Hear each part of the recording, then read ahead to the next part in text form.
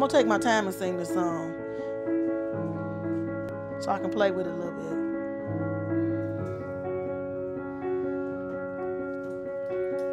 Yep, that's the one for the tape right there.